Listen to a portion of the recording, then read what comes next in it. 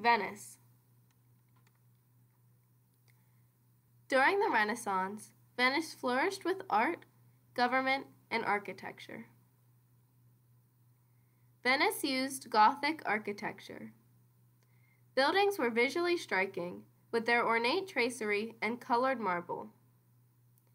In private buildings, site restrictions often led architects to concentrate their efforts upon frontages. Here are some examples of Gothic architecture in the Renaissance. Venice's government was first a merchant aristocracy, which means it is governed by tribunes overseen by a duke. Then, in the 11th century, a merchant oligarchy rose. The government was the Senate. There was a great and small council made up of a duke and wealthy merchants.